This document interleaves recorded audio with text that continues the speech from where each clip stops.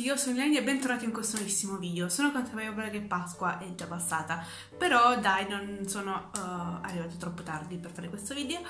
E allora ho deciso di fare un Pasqua tag uh, un po' per farvi conoscere le mie usanze, diciamo, uh, anche non libresche, perché appunto questo tag non riguarda libri o serie tv, film o quant'altro, semplicemente le mie tradizioni uh, durante le feste di Pasqua. Sto leggendo le domande del computer sul sito uh, Racconti del passato, quindi potete trovare le domande lì, comunque vi linko il... Um, questo sito, diciamo. Iniziamo subito. Allora, prima domanda. Senti la Pasqua come ricorrenza religiosa oppure ti piace semplicemente il periodo di festa? Allora, uh, io, mm, diciamo un po' e un po', diciamo.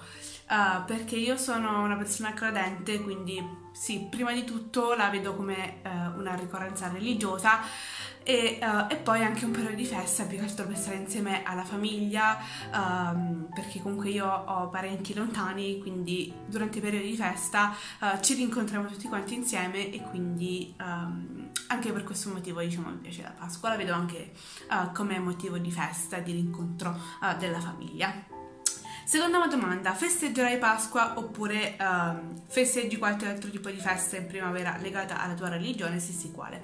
No, io semplicemente festeggio Pasqua perché sono uh, cristiana e quindi festeggio Pasqua, ecco. Terza domanda, come pensi che festeggerai Pasqua? Un pranzo di famiglia? Segui il letto di Natale con i tuoi Pasqua o con chi vuoi?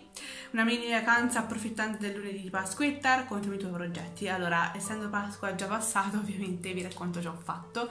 Come dicevo prima, uh, Pasqua per me è uh, rincontro di famiglia, quindi sì, è stato un pranzo di famiglia, quindi uh, per me sia Natale che Pasqua pranzo in famiglia, sempre forever and ever.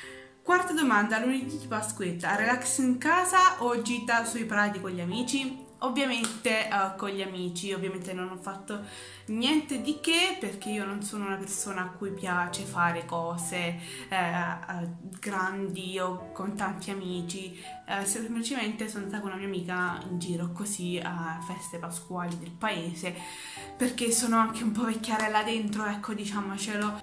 Quinta domanda, aspetti più l'uovo di Pasqua o la colomba? Ovviamente l'uovo di Pasqua.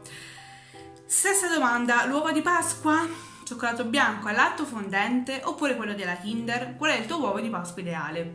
Allora, eh, ovviamente al primo posto c'è quello della Kinder, nessuno mi toglie l'uovo di Pasqua della Kinder, ragazzi.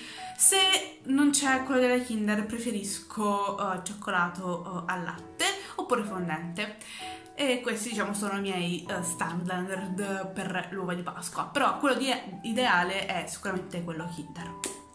Settima, decori la tua casa per Pasqua? Se sì, e uh, hai voglia di farci vedere come. Eh, no, semplicemente no, non decoro casa per Pasqua, diciamo ci sono solo qualche eh, uova di, di, cioccolato di Pasqua in giro, ma niente di che. 8. Che sorpresa vorresti trovare al nuovo di Pasqua? Realistica e desiderio. E allora, realistica, non lo so, di eh, laurearmi presto, non lo so. desiderio non saprei, forse quella di realizzare tutti i miei sogni, quella di diventare un giorno quello che voglio, anche se non ancora so cosa voglio essere nella vita, ancora lo devo capire. Comunque, boh, non lo so nemmeno io. 9. Un'immagine che ti ricorda la Pasqua. Bella domanda, ce ne sono tantissime. Uh, ovviamente a me ricorda molto la Pasqua, prima di tutto um, la risurrezione di Gesù perché ricordo, uh, come dicevo prima, che io sono una persona molto credente, quindi quella è la prima cosa che mi ricorda la Pasqua.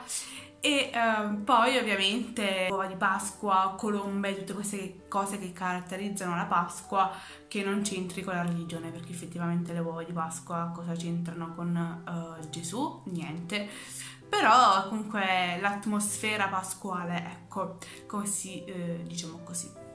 10. Mangiare l'agnello sei contrario. Non sono contraria, eh, sono molto pro perché mi piace la carne, però su questo discorso mh, mm, bisogna fare un video a parte perché ci sarebbe tantissimo da dire prima di tutto e questo video poi uscirebbe di tipo 25.000 anni e secondo non credo sia uh, il video adatto per uh, um, parlare di questo argomento diciamo Bene, questo video finisce qui, uh, spero che abbiate passato una buona Pasqua, spero che vi siate divertiti, che avete mangiato tantissimo, uh, nonostante uh, le frasi tipiche dei parenti, che so, tipo il fidanzatino e la laurea e il diploma e il lavoro, quando, vabbè, tutte queste cose che ovviamente sono comuni a tutte le famiglie, a tutti i parenti, e spero che questo video vi piaccia, lasciate un like in tal caso e fatemi sapere nei commenti